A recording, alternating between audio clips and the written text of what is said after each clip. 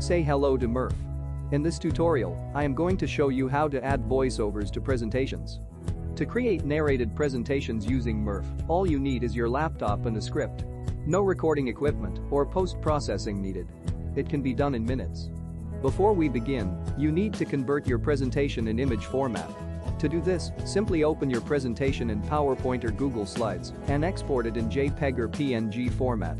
Check the All Slides box while exporting. Now, time to import it in Murf Voice Studio. Step 1 is to create a project. You can choose to create a new project or start with an existing template. Let us create one from scratch. Click on the new project icon and upload all the slide images. Step 2. Type in your script or just copy-paste. Create a new audio block for every slide or use the same audio block for multiple slides.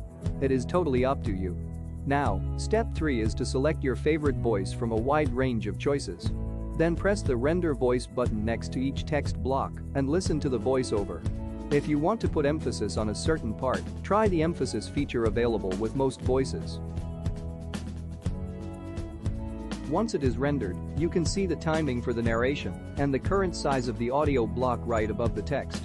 For example, here our script needs 5 seconds, but the audio block is only 3 seconds long. If it gives you a yellow warning like this, it means you need to increase the size of your audio block. Step 4 is where you can adjust slide timing simply by changing size of blocks in the bottom panel.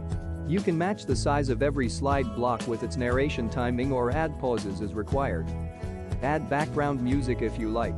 The last step, render your video. And you are done. Your voiceover presentation is now ready for preview. You can repeat the steps to make changes to your script as you like.